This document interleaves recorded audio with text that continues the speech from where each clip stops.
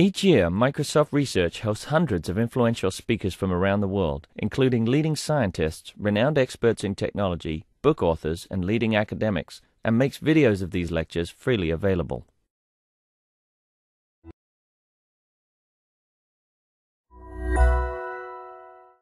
This is uh, Florian Zuleger from from Technical University of Vienna, where he's I think just finished his PhD, and he's visiting today here. So if you want to speak to him afterwards, then grab him today. Okay.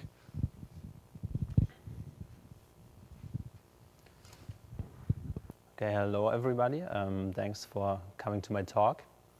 Um, yeah, I'm happy to be here today. So because uh, so this also kind of a wrap up for my uh, PhD thesis, and my PhD thesis was uh, financed by uh, Microsoft. So I'm happy to report results. Um, yeah, so this in this, uh, so I've worked on this with uh, Sumit Gulwani from uh, Microsoft Redmond and uh, with a master student Moritz and my supervisor Helmut Veith.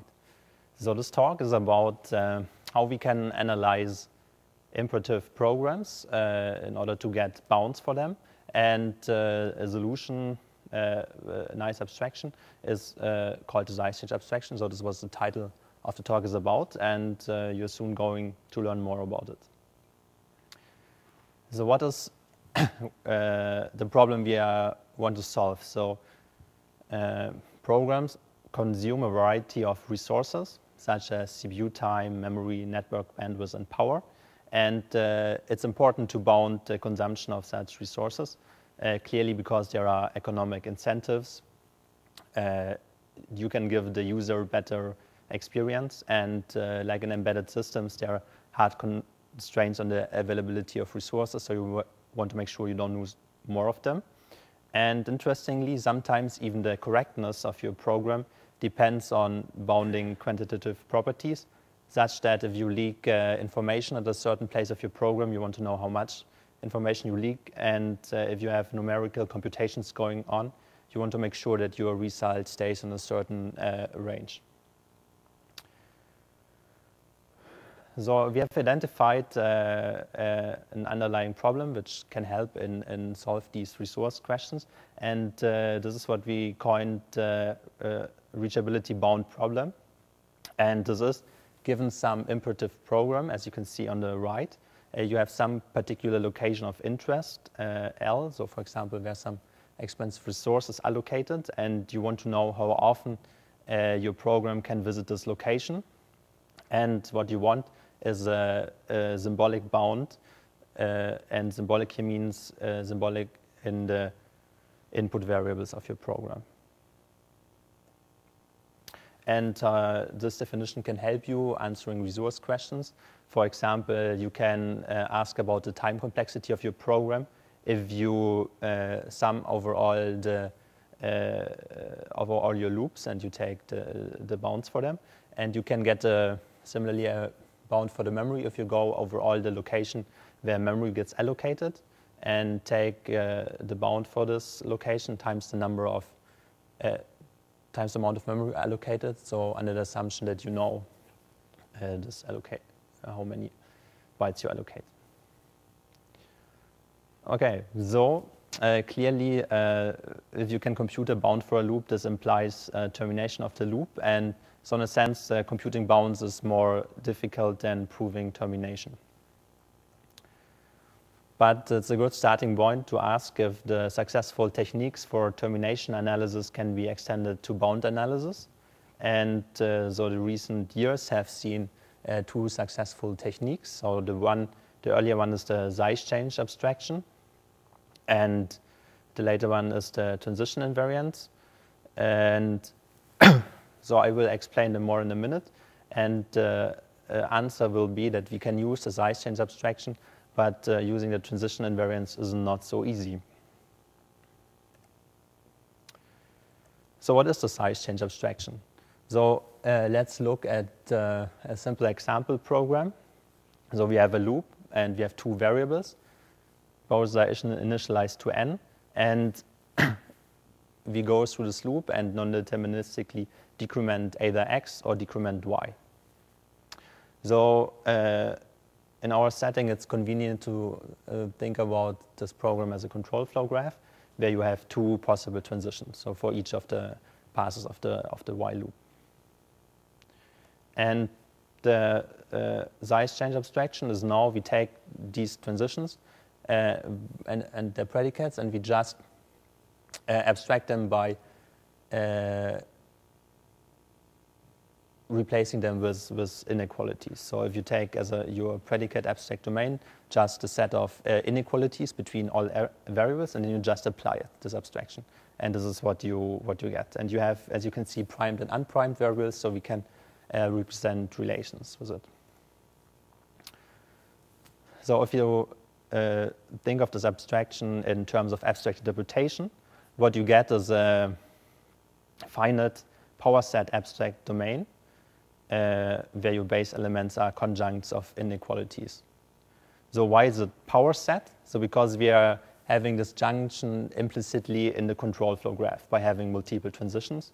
And it's finite because there are only finitely many inequalities between a finite set of variables. Uh, traditionally, papers about the size change abstraction have uh, represented them like uh, like graphs where you, uh, where you label the edges with uh, inequalities, but it's just a different notation. So the size change abstraction is a success story uh, because theoretically it has nice properties. So termination is decidable in P space. And there's also a systematic way of deriving ranking functions for terminating instances. On the practical side, the size change abstraction has been implemented in uh, widely used tools, such that ACL2 and Isabelle, so both tools need, their, need to prove that inductive definitions are well formed and so that they terminate, and they uh, do automatic termination proofs all the time. And in ACL2, this is particularly successful. They can prove 98% of their functions automatically. So why, why does it have such, uh, why does it work so nice in practice? So because you have built in disjunction and uh, because it's finite, you can compute the transitive hulls without referring to uh, over approximation techniques. And the decidability result comes from that tr transitivity hulls preserve termination. And because it's, uh, you only have inequalities, you can do the abstraction most of the time automatically. Uh, so this sums up the potential for automating this technique. On the other hand, uh, we have transition invariants, and they have uh, been meant as a, an adaptation of, of size change abstraction to imperative programs. And uh, so they have led to a successful tool which could handle a lot of device drivers automatically. And uh, they are more general than the size change abstraction. And you can see uh, this paper for a formal comparison. So uh, I guess you're uh, quite familiar with transition invariants. So let's look how what you can do for how you will handle this program. So you will do a termination proof which looks like this. So you will prove that, uh, so you will have two well-founded relations, and you will show that, um, yeah, you derive them because x and y are uh, local ranking functions for one of the paths respectively. And then you show that the transitive hull in the concrete is uh, included in the union of these well-founded relations. Yeah, so that someone pointed out to me and I didn't correct it, so that's true. Yeah, it's uh, back on the slides. But this uh, doesn't matter. So now let's look at a slightly modified uh, version of this program. So there you have the same program, except that in the one branch you reset x to, to n. And uh, so this changes the transition relation. And but you can do the same termination proof. So this means uh, uh, only the part of the proof which is the actual termination argument this really stays the same. You have to show it in a different way, but the underlying reasoning is the same. And so what you see here is that you have two uh, different programs, uh, which have uh, two programs which have uh, different complexity, but they are proved by the same uh, termination argument. So the the argument you have is too imprecise to capture uh, the difference in complexity. So we have to do something more if we want to do bound computation. So when you take the same programs and you size change abstract them, then you will have more information in the abstract. So you will have uh, that in the one case x stays the same, and in the other case uh, x is reset, you will have it in the abstraction. So you can see that this is more information than you have in the transition invariant case. So I will now give you a short uh, explanation how we compute bounds, and then later I tell you more about uh, how we uh, how we do it. But this is this is just to get the idea. So what we will do for computing bounds is uh, we will only work on the abstracted transitions, and uh, we have some heuristics for discovering that x and y are important here for the progress of the program, and then our bound computation will do the following reasoning for the program on the left side. So it will say, okay, x and y are constant on the respective other uh, transition of the program. So it's okay if we add the bound. And uh, so by taking the initial conditions into account, we get the bound of 2n. And for the other program, we will use the fact that only one uh, one of the, the norms, so only x is reset on the other transition. So it's okay if we order them lexicographically and by uh, taking the, by proving that they're both bounded by n, we can multiply them and get the bound n square. Yeah, so this was the, the introduction, and so why we want to use the uh, size change abstraction. And I will motivate it further by pointing out uh, challenging programs and uh, explaining the challenges there. And then I will come back to these challenges later on when I uh, explain you the actual bound computation. So by this challenges, I really want to show you that we chose the size change abstraction because it's the right abstract domain that can deal with this kind of problems which, which arise in, uh, in the problem. So let's look at uh, the following program, which I will use uh, as a running example. So here you have a program that contains uh, an inner loop. And so what it does, it increments uh, uh, the variable i in the, in the outer loop and resets the variable j. And then in the inner loop, you, uh, you increment both variables. And in the outer loop, you sometimes decrement uh, i, but only if you have repeated the inner loop once. So in order to show uh, that the bound for the outer loop is really n, uh, you, are, you have to show that if i is, is incremented, uh, decremented, you have been visited the inner loop at least once and thereby incremented i, so that makes up for the later decrement. So what I want to show here is that for this you need this distinction if the inner loop has been executed at least once. And this is really disjunctive reasoning. So in order to be able to handle example like this, you need uh, to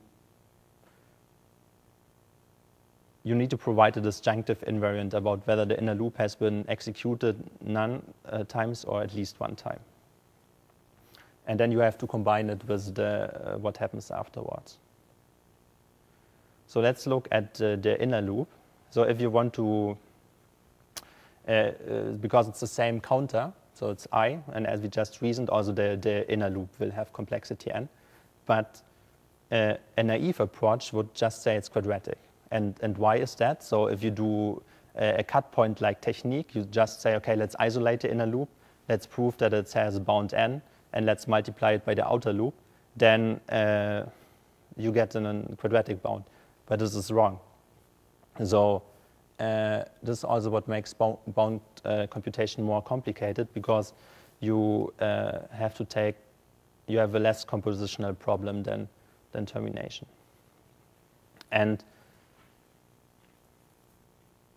still, you want to somehow take advantage of the structure of your program. And uh, so I will talk later how we uh, still get, can get some compositionality in the problem.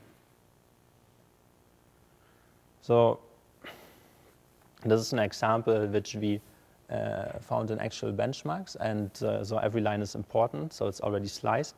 And uh, so you don't have to understand this program. Uh, I just want to point out that there are a lot of flags. And so in order to be able to compute a bound, you need to reason about these flags. And so again, uh, this requires some disjunctive reasoning. And, but interestingly, this program has a complicated uh, bound, and it has a max uh, expression inside and a logarithm and, and addition. And so uh, this just uh, should show you that the search, search space for possible bounds is huge.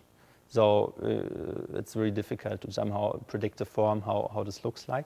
And uh, here I also want to give an answer directly, uh, what we do by using the size change abstraction.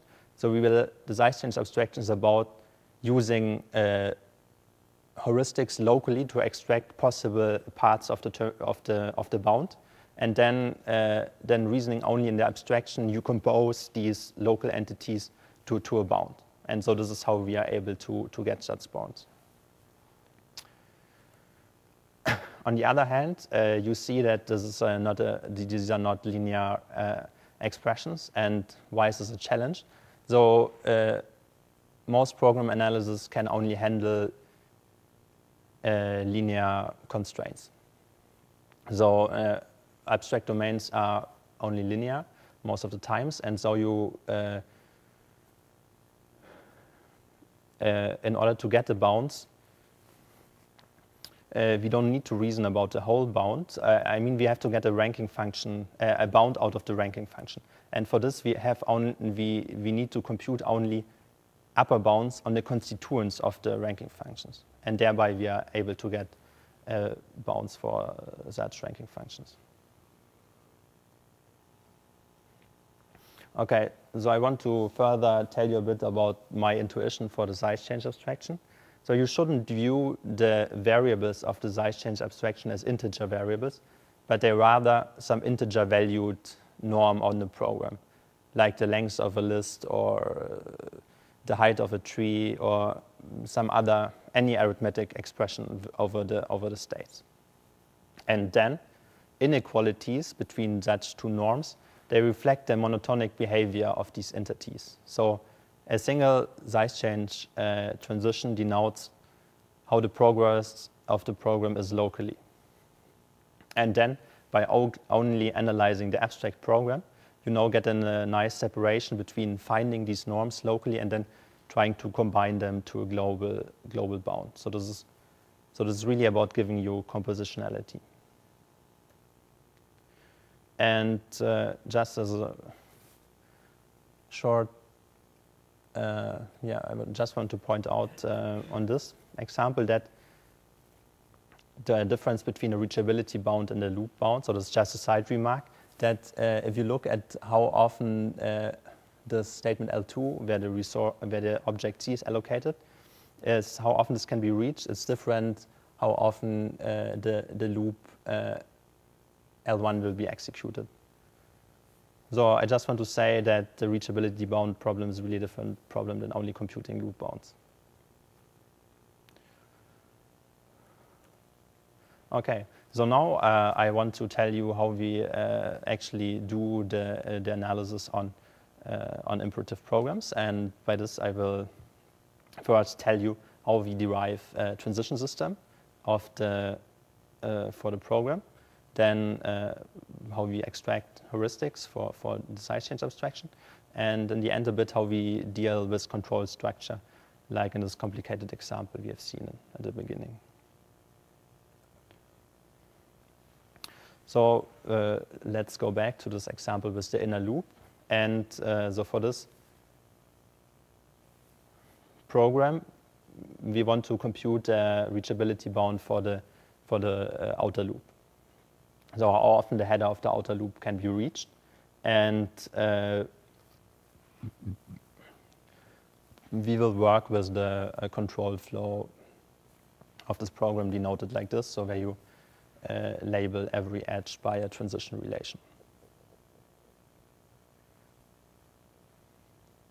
So in order to uh, compute, uh, yeah, we will compute the transition system always with regard to one location and the location for which we want to compute the bounds.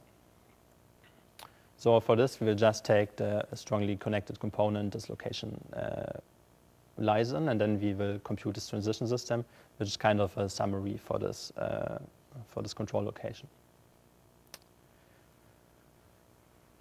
So because, as I pointed out in the beginning, disjunction is very important. We want to get, uh, we want to derive a transition system with maximum, which contains maximal disjunctive information. And uh, so in order to do so, the idea is to enumerate all paths, all possible passes from L1 back to this location L1. And uh, here we have uh, infinitely many paths because of an inner loop. So this uh, means a problem for this idea. And uh, in order to cope with that, the idea is to first recursively uh, compute a transition system for the, for the inner loop and use this uh, for, for summarizing the inner loop. And once we have then summarized the inner loop, we uh, just plug in the summary for the inner loop, and then we can use this idea of enumerating all paths to get a transition system for the outer loop. So what do we do for summarizing inner loop? So we derive this transition system recursively. Uh, but then uh, in order to summarize it, you need to compute the transitive hull. And uh, so this transitive hull is representing arbitrary many iterations through the inner loop. And uh, the nice thing about this is that we can use the same abstraction for summarizing inner loops. So we just take the transition system, size change abstracting it, and computing the transitive hull in the abstract. And uh, so this can be done uh, because there only this abstraction is finite, and so we can compute the the transitive hull, and then we just take it and uh, plug it in. Yeah, okay, I want to say a few words about the transitive hull. Yeah. So, do you have to assume that the overall transition system is reducible? Um, yes, that's a good question. So, as I presented, we assume that uh, the uh, program is reducible, but this is not a limitation because uh, by doing case splits on the possible entries of strongly connected components, you uh, can derive a transition system in the same way. So you'll just say, okay, either we jump. Yeah, you say either we jump in here or we jump in here, but let's compute a transition system for both and then just take the union of, of these computations. Yeah. And uh, because irreducible programs shouldn't, there shouldn't be a, a lot of non-determinism. So I would argue that uh, this could be done in practice, but we have not implemented it. So our implementation is only for reducible control flow graphs.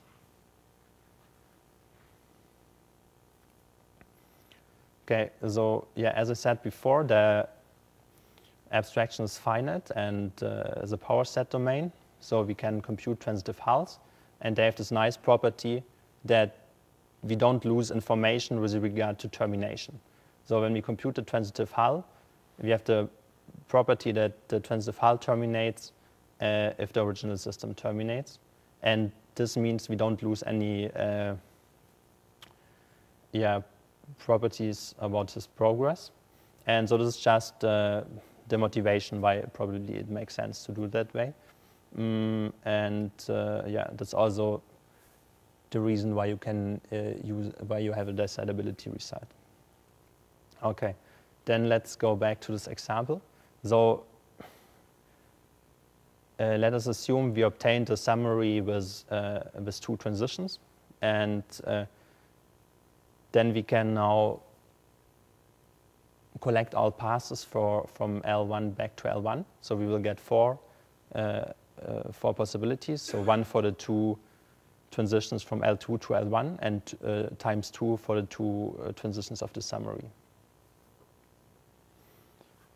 So this will result uh, in four paths, which you have to concatenate. And we actually, at that point, will check if the transitions are actually feasible. And this can rule out, uh, this will rule out two transitions in that case.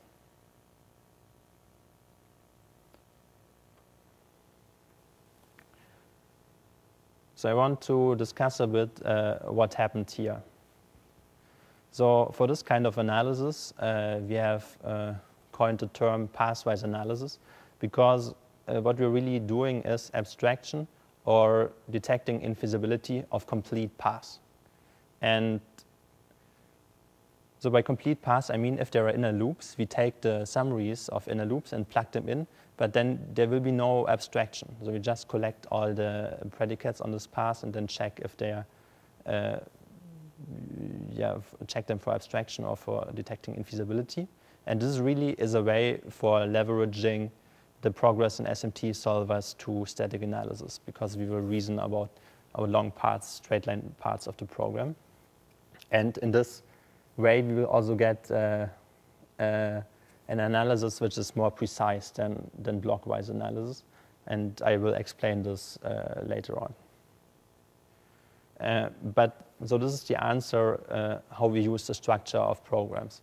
So our, our way of doing is summarizing inner loops, nested loops, using the summaries, plugging them in, and going on. So this is possibly all what you can do for a bound analysis.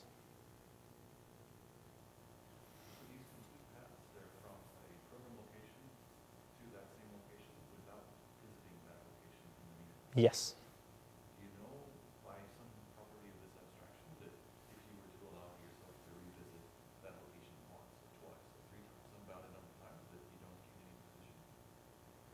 Um, yeah, so I had this idea actually, so you can think about this like unrolling the program.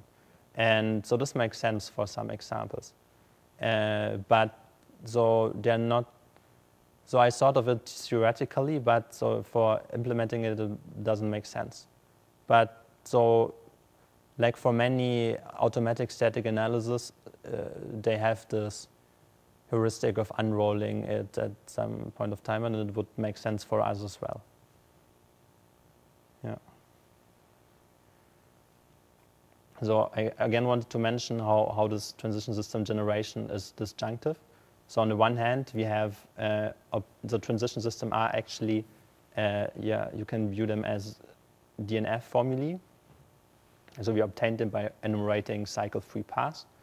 And so individual transition relations, they are uh, they do not contain disjunction. So this works nicely with our bound computation later on. And so this proceeding like this is, is possibly expensive. Uh, but in practice, uh, so this works most of the cases because we slice the program before. And so we have a few cases with timeout, but mostly this works. Uh, a second disjunctive uh, thing in this analysis is that we have summarized inner loops disjunctively.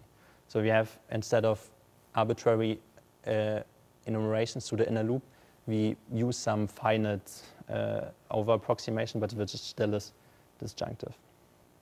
So this is uh, how we answer the challenge uh, identified in the beginning. Okay, so I wanted to uh, contrast what we do with what size change abstraction does classically. So they would take uh, the control flow graph, uh, which you get from the program, and abstract every every uh, every edge directly, and then do the analysis only on in the abstract. And so for this example, uh, they will not be able to prove uh, even termination. And this is because at one point we, so after the loop, we decreased i if we executed the inner loop at least once. And because then you have an increase, decrease, you will lose all information if you only have inequalities. And Uh, but, but we were able to do so by using the summary first and then doing a complete path analysis. And yeah, to wrap up this discussion, uh, the classical size change abstraction abstracts blockwise. It abstracts the program only once in the beginning and then does the transitive Hull computation only in the abstract what we do is we always alternate between abstracting and transitive Hull computation. And uh, so this, how often we do this is the, how often loops are nested. And by this we derive an analysis which is uh, more general and more precise than what has been done before.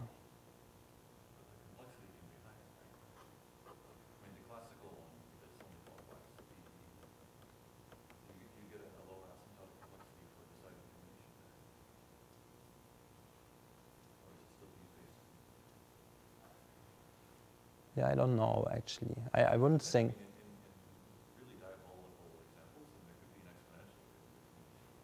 Yeah.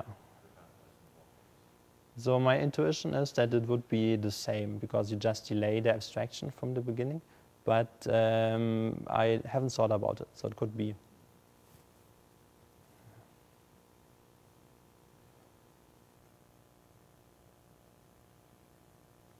Okay.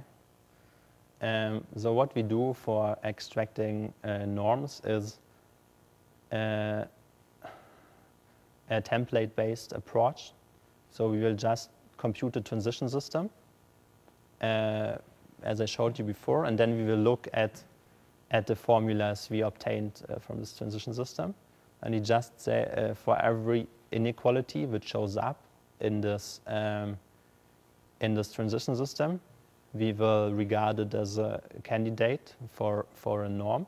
So this means like if you have an inequality E1 greater than E2, E1 minus E2 is a candidate for, for a norm.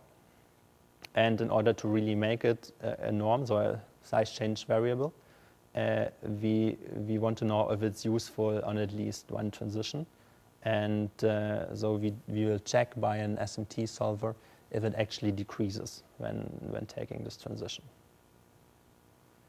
And uh, yeah, so this is like uh, if you have a simple for loop, then you increase uh, some variable i, you will check if it's less than n, and then uh, the conditions are met. So we include it.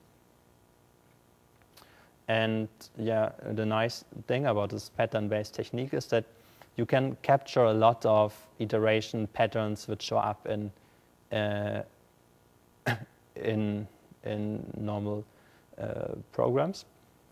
So you can also come up with, uh, with rules for uh, iterations over bit vectors and over data structures as long as you're able to express the, uh, your, the theory which you need by, in an SMT solver. And then you, uh, you can, in the same way, come up with new patterns which you want to add to the abstraction.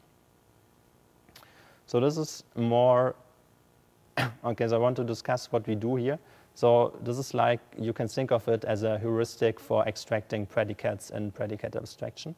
So there you also go and look at uh, in so in conditions uh, of your program and take them as predicates. And all those template-based uh, approaches have been quite successful recently. And so uh, it's also good that uh, so the bounds which you report to the user are, are about identities and entities which actually show up in the, in the program. So it will be easy to understand for the programmer. And so we do not take any uh, complicated arithmetic expression, but uh, you could include certain special cases. So you could say, for example, okay, you have identified that as a norm and this as a norm. And so, okay, because of this, it makes sense to also take the sum of, of the two uh, as a size change variable or the, or the difference or the logarithm or anything uh, which might be useful.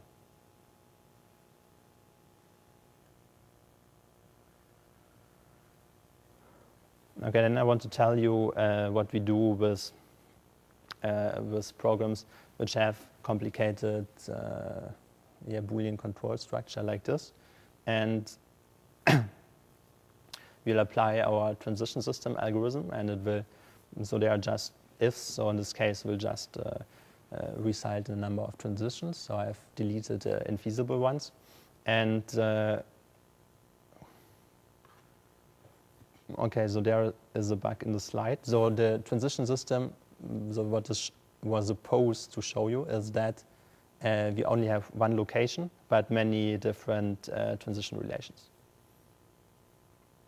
And uh, in order to make our life easier, we will do a program transformation before we do the actual bound computation. And the transformation we do has the following, uh, following idea behind us. So we want to uh, we want to add to every location which transition is going to be executed next. And if we know that, we can delete some infeasible uh, transitions. So going, so adding this location, uh, adding which tran transition is executed next, is actually uh, uh like a prophecy variable, which has been used by uh, Byron recently. So you add uh, like a look ahead of one to each state. And so this is a simple construction which can be done by an SMT solver. And uh, it will, for this program, then look like, like this. And this is what we then use uh, afterwards. So I want to tell you how we do it because it's quite easy. So we'll just take the, the transition system and make a program where now every uh, where we add one control location for every transition. And then we say, okay, we have a transition to another transition uh, if the composition of the two transition is actually feasible. And so you just take the transition relations, concatenate them, and uh, check this by an SMT solver. And uh, so what is the nice thing about adding uh, this control structure? Again, uh, the nice thing about it is that you can get rid of Boolean uh, booleans if you're lucky. So in this case, it works.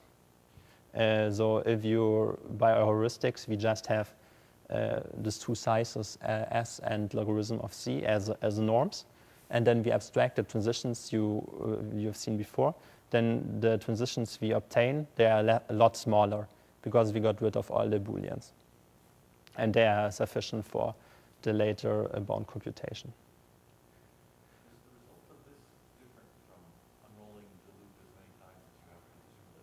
Yeah.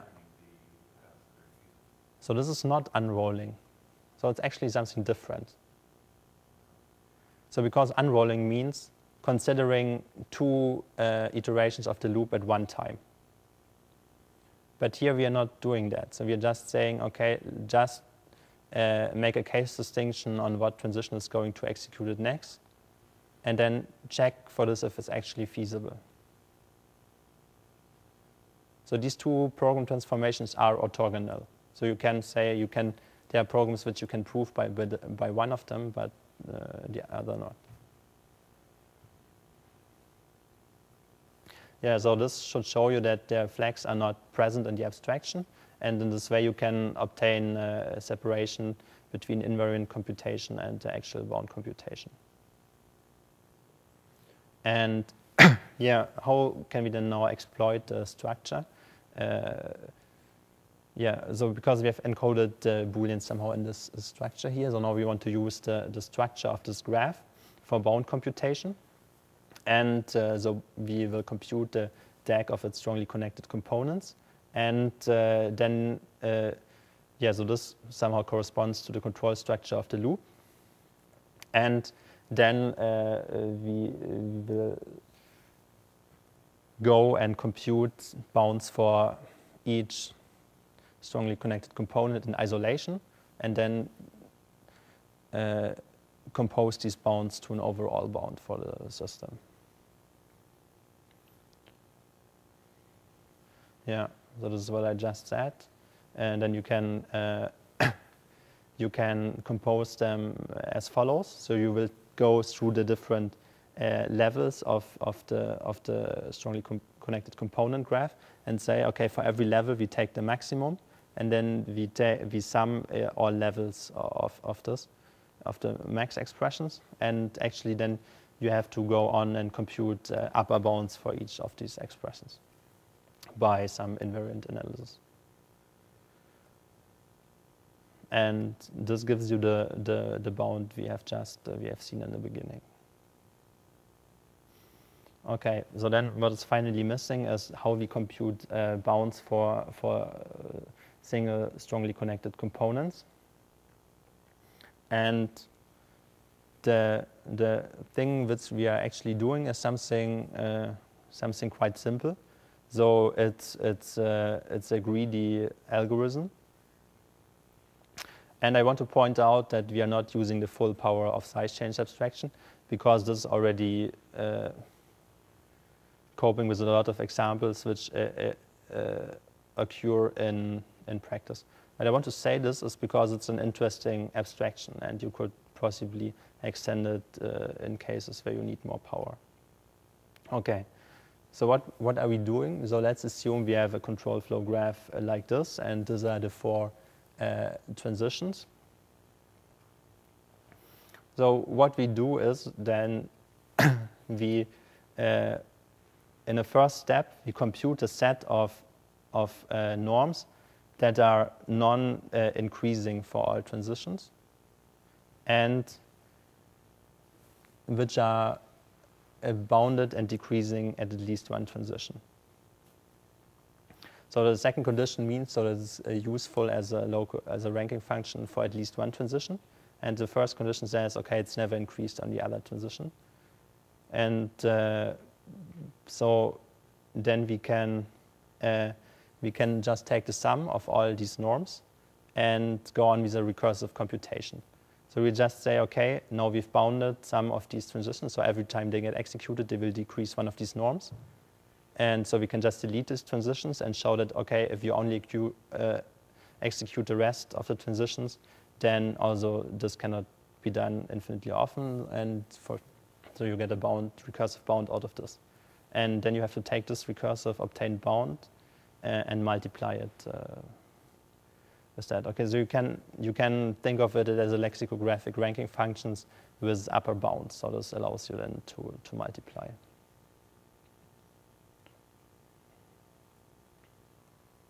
Yeah. so uh, what we have done is, uh, so we have implemented Uh, the analysis I've, I've told you about in uh, our tool uh, called Loopus, which is built over the LLVM compiler framework. So we read in C source code. Uh, we have used Yices as our logical reasoning engine. Uh, so our tool is not, is not completely sound because we have some optimistic assumption about aliasing. So basically, we assume no aliasing so when the uh, L values are syntactically different, then they are treated differently by our analysis. But uh, so this uh, didn't, so we didn't uh, find any problems with this in practice. So for now, uh, it's okay because, yeah. And uh, so we have used the cBench benchmark, which is a compiler optimization benchmark. So it contains all the core utils of Unix like uh, bzip, uh, Huffman encodings, graphics, algorithms. So we've analyzed this code and we were able to get uh, bounds for three quarters of, of the loops appearing there. So our analysis is quite fast, so we can handle most of the loops in, uh, in uh, four seconds and some more in 1,000 seconds. And so there are some timeouts, but there are not so many that we are actually tried to optimize our analysis. So in cases where we fail is that so we have uh, not sufficient support for, for invariance, numeric invariance, and uh, so we cannot handle uh, memory updates or pointer arithmetic. Uh, so we don't have irreducible control flow graphs. And so some loops are not meant to terminate and we cannot detect it. And uh, so there are also these uh, difficult guys which would need complex invariants. Yeah, so the, for the first one, I would uh, expect that you can implement uh, like numeric analysis, which is strong enough to, to show the properties you want. Okay, so yeah, this concludes my talk. Um, I hope I could convince you that uh, the size change abstraction is the, uh, is the right formalism for dealing with bound analysis of imperative programs. And uh, the contributions are that we've given the uh, first algorithm for computing bounds with the size change abstraction. And uh, we've also shown how you can actually apply size change abstraction to imperative programs because before it was only used for uh, functional and declarative languages. Okay, I'm happy to take some questions.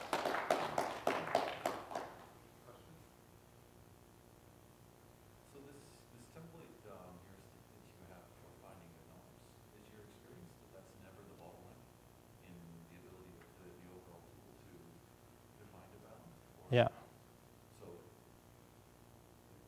that part you just don't worry about at all? Yeah. So the intuition is that so most of the times uh, in, in, in programs you just have uh, like entities which are increased or decreased all the time, and the complication stems from how these uh, local progresses uh, are combined to, to an overall progress. That's analogous, I guess, in the termination work where it's, once you get it down to a single path, usually finding the ranking function, you could do all this Farkas stuff, but you can also like look for a couple of patterns and that's what But the hard part is handling all the interaction with all the disjunctions, which he's handling.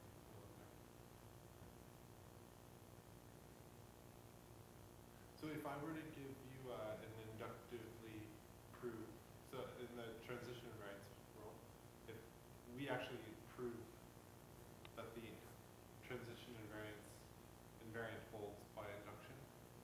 So then could you look over that proof and discover uh, bounds?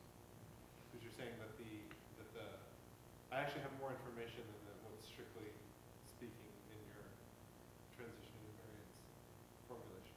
Yeah. Okay, so what, what Byron is pointing out that uh, so what is actually done by uh, Terminator or this new tool is not the construction of this transition invariant only, but also the proof that this inclusion actually holds. And this is proven inductively, and so there's some resemblance uh, in this tool to what, what, what uh, I was making explicit before by uh, by doing this because if you compute the transitive hull with size abstraction, it's kind of an inductive proof too. And uh, so, like the difference, uh, as I see it, is that so we are going to collect the the norms before we are doing the the abstraction. And when we are doing the abstraction, so we have obtained some norms for one program path and some norms for another program path. But when we abstract, so we'll also see how the norms of this path change on that path, so that we have this information then available if we uh, do the actual bound computation. And so the question would be how you can then take this proof and extend all this measures obtain, obtained here and there also on the other side of the proof and uh, yeah and but so the question is also really so there there are two extreme choices our tools. So we are really doing a greedy uh, abstract interpretation and more byron's tool is like doing like a really lazy with minimal information as possible proof and how you could so there's a lot of room in between how uh, things could be done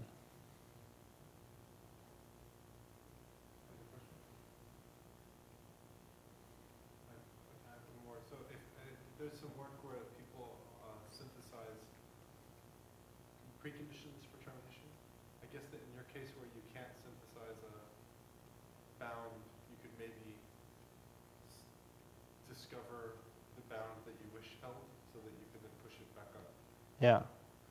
So this could be done possibly if you're missing like a greater to zero or somewhere. Are you in good position to do that Um, so I don't know actually because you have to do this symbolic backward uh, like weakest precondition computation and I don't know how this could be done.